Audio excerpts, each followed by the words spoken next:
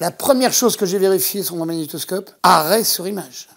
Justifiant cela par une sorte de curiosité de cinéphile, tentant d'avoir comment se passe le plan, arrêtons ce plan-là, voyons.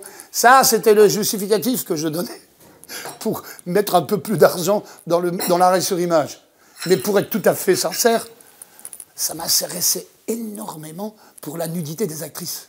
C'est-à-dire que combien de fois j'avais dû regarder enfant des films il était installé un petit carré blanc les et ça passait trop vite. Les, filles se déshabillaient et tu disais Oh putain, on a vu un nichon Qu'avec l'arrêt sur image, on pouvait enfin voir un film et clac, arrêter l'image et se dire Par la pitié du grand Seigneur, regarde comme on voit bien. Et donc, si tu me demandes quelle est la cassette qui fut souvent cachée, mais nombreuses fois utilisée, c'était la clé de Tim Tobras. C'est une sorte de cinéma pseudo-érotique,